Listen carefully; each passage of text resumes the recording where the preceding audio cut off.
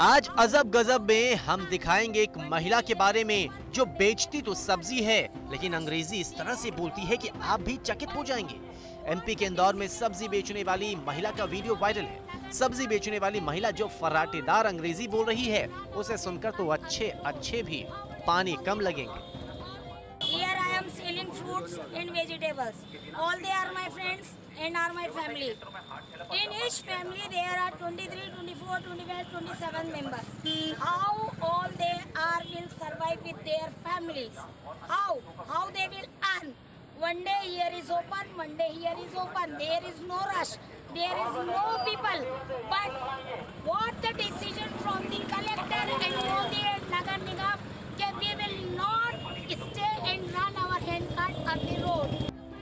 इस महिला का गुस्सा इसलिए फूटा क्योंकि नगर निगम वालों ने कार्रवाई शुरू कर दी। दरअसल इंदौर में प्रशासन ने सब्ज़ी ठेला संचालकों को एक जगह पर खड़े होकर व्यापार करने पर प्रतिबंध लगाया है, लेकिन बुधवार को जब निगम का अमला कार्रवाई करने पहुँचा तो यहाँ एक महिला ने कार्रवाई को लेकर ज़बरदस्त विरोध किया। महिला ने नगर निगम के अधिकारियों को अंग्रेज़ी में ऐसा समझाया की वो भी सन रह गए और वापस लौट आए। Fruits and vegetables. All they are my friends and are my family. In each family there are 23, 24, 25, 27 members. How all they are will survive with their families? How? How they will earn? One day here is open, one day here is open. There is no rush. There is no people. But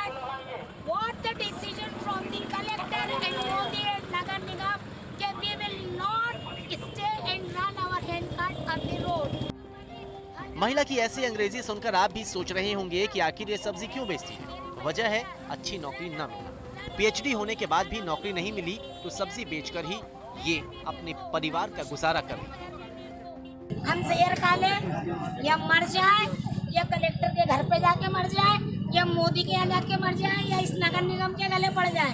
किसके गले महिला का video social media पर तेज़ी से viral हो रहा है। इंग्लिश मीडियम सब्ज़ी वाली का ये वीडियो देख लोग भी यकीन नहीं कर पा रहे हैं। न्यूज़ तक ब्यूरो।